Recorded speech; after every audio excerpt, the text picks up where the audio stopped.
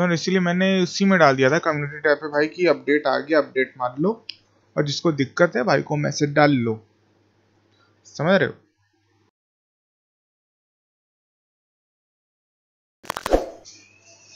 तो ध्यान से देखो सब लोग, क्या करना है, कुछ नहीं करना। सिंपल क्रोम पे जाना है। कहाँ गया क्रोम क्रोम पे जाना है, ठीक है। यहाँ पे सर्च करना है A P K Pure download या जो भी तुमको लिखना चाहे लिख लो, ठीक है? फिर ये साइट ओपन करनी है, पहली साइट और यहाँ से इसका एप्लीकेशन डाउनलोड कर लेना है, ठीक है? जब ये एप्लीकेशन डाउनलोड जाएगा, इसको करना इंस्टॉल ठीक?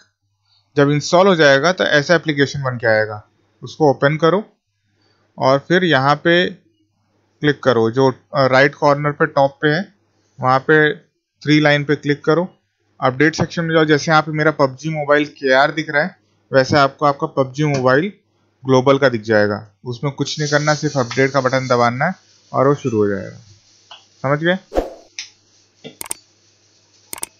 कर लो आप